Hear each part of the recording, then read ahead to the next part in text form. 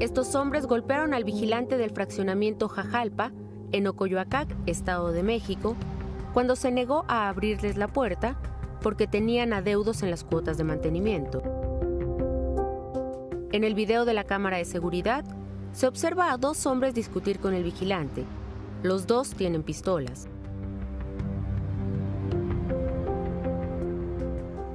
Unos segundos después, comienzan a golpearlo.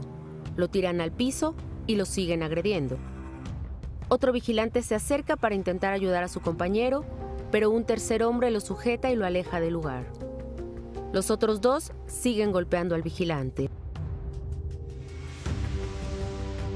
Segundos después, los tres hombres recogen una pistola que se había caído y otras pertenencias y se van del lugar.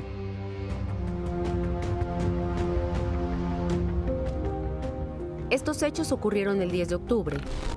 Dos de estos sujetos fueron detenidos hoy por agentes de la Fiscalía del Estado. Al momento de la detención viajaban en un auto blanco en el que intentaron huir, chocando contra un auto de la Fiscalía. Pero finalmente fueron detenidos e identificados como Andrés y José Luis. Fueron acusados por el delito de lesiones con armas prohibidas y puestos a disposición de un juez en el Cerezo de Lerma.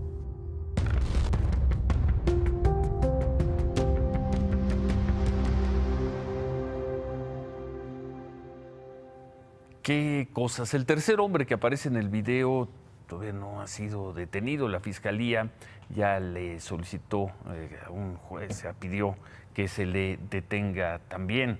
Y bueno, ¿qué está pasando? Y hablando de agresiones, ya vimos que tardaron nueve meses en el Estado de México, pero detuvieron a estas personas. Imagen Noticias con Ciro Gómez Leiva, lunes a viernes 10.30 pm. Participa en Imagen Televisión.